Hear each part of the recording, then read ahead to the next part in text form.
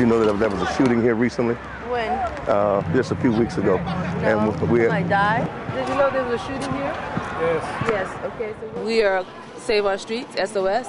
And what we're doing is every time there's a shooting in, in this in Crown Heights in the 77 catchment area, we're going to be doing a response to change people's attitudes about no shooting being acceptable. And unfortunately, I think in the community right now, people are numb to shootings and they don't respond as much as we would like. Right now, we're into the healing process. Somebody was shot last week. It was a 15 year old young man.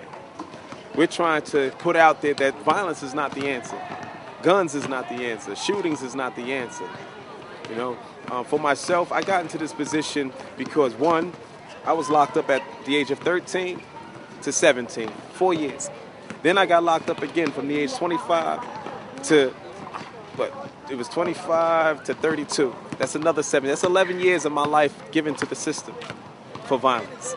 If I can actually share my experience with others so that they wouldn't have to repeat what I've done, then my job is done. Understand?